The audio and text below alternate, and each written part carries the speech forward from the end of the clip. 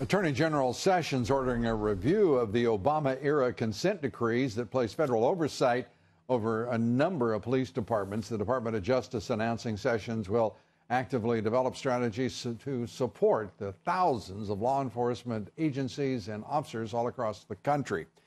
Our next guest says the Justice Department should have limited authority over local law enforcement. And joining us tonight, senior legal fellow at the Meese Center for Legal and Judicial Studies at the Heritage Foundation, Hans von Spakovsky.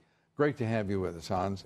Uh, Thanks. I, I, mean, it is so nice to see Attorney General Jeff Sessions uh, say, you know, we're going to conduct a review here and lift some of these crazy decrees and and what amount to effective takeovers by the federal government of local law enforcement. Oh, look, I have to agree. This is long over, overdue. What everyone has to understand is that the Obama administration, particularly the people inside the Justice Department, were actively hostile to law enforcement all over the country. I can tell you because I know the lawyers who worked inside the office in charge of these kind of investigations. They hate law enforcement. Not only that, but not a single one of those lawyers had actually had any experience in law enforcement. Pardon, you're, ta you're, talking to somebody in our audience. They've heard these stories and these reports yeah. and these uh, the values that the Obama administration bar, brought to the highly uh, brought to the highly uh, politicized Justice Department. They've heard them for eight years.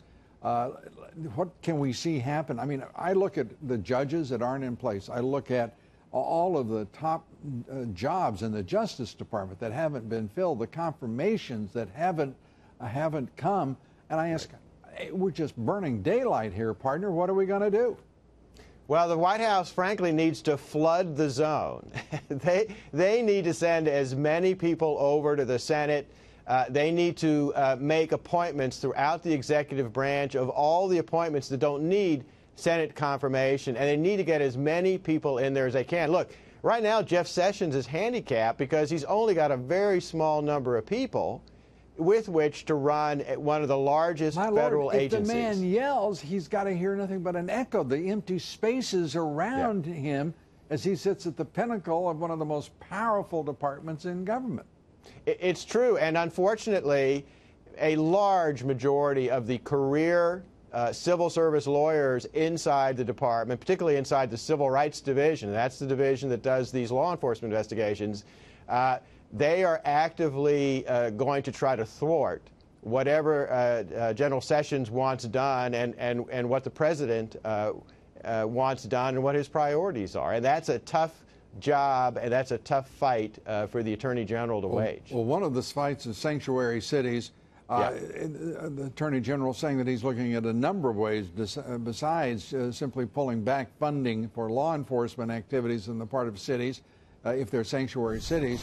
Uh, are there other more effective things that he could do uh, that would uh, be appropriate and proportionate uh, and effective against sanctuary cities? Well, there is one other thing that, that he could do that is reminiscent of the civil rights era. Um, certain sanctuary policies violate federal immigration law.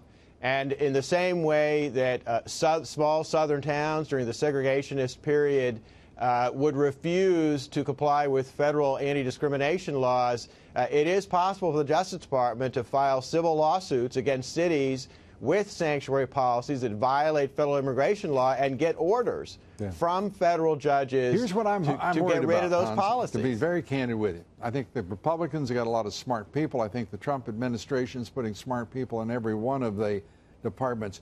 But I'm worrying about how tough and how street smart uh, the folks are that are being put in there to contend with these uh, left wing activists that have made uh, government uh, employment a lifelong uh, uh, career. we've got to do a lot more with greater energy and, sure, a hell of a lot more street smarts. this is a brawl and a battle in the streets, and it, the Republicans are acting like you know, they might have another uh, hit of snuff and uh, talk it over for another week. Uh, I'm just kidding about the latter part of it. I know they don't do stuff